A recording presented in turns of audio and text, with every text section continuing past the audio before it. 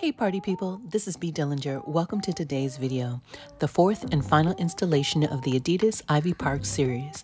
There are about four videos in this series, so if you haven't seen them, I hope you will check them out. There's a range of really cool ideas for you to check out and try.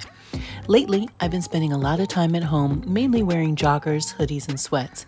And of course, I've been wearing a lot of flip flops, so I thought this would be the perfect project to close out with. Here are a few reference images I came across. Did y'all even know they had flip flops? These are super duper crazy dumb easy. I mean, easy peasy lemon squeezy, as my niece would say. Seriously, this is the easiest, easiest tutorial I have ever posted. All you do is peel and stick. Anyone can make this project. No fancy tools and just a few supplies.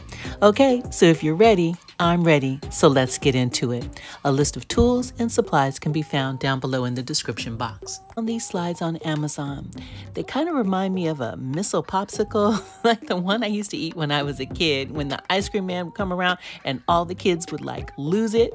So I think, here, let me insert a picture. See, remember? Yeah, y'all seen this before? Right, okay.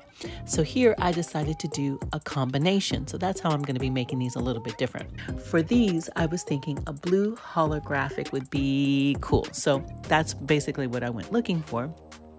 But when I bought the blue and I put it up against the shoe, it really was too much blue. But when I flipped it over, which side was red, I really like that a lot better. Now, the one thing that I will say about this is that the single layer, in my opinion, I thought was too thin. So to beef it up, I'm going to add another layer in solid behind it.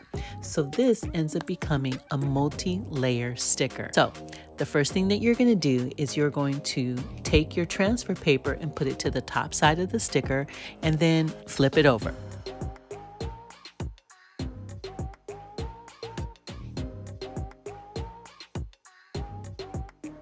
Working from the back, remove all of the outside frame, part of the vinyl, the parts that you don't need, and then basically discard that.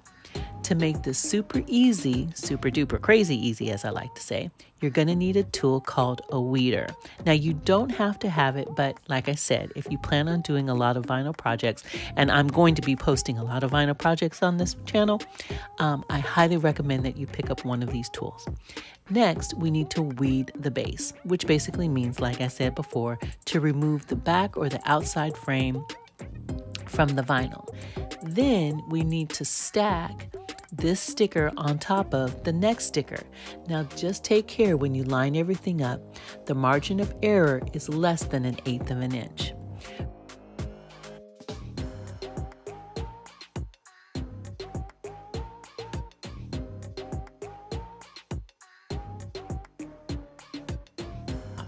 Now, the thing that I found that was easiest to do was to work from the center and then move outward. So once you establish the center of the sticker and you establish the center of the slide, you just line those two areas out and just basically push.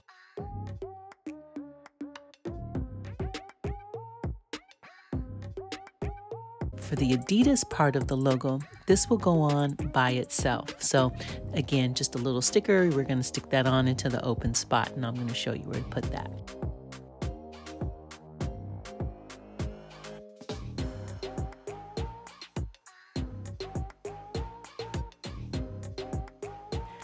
That's it. Boom.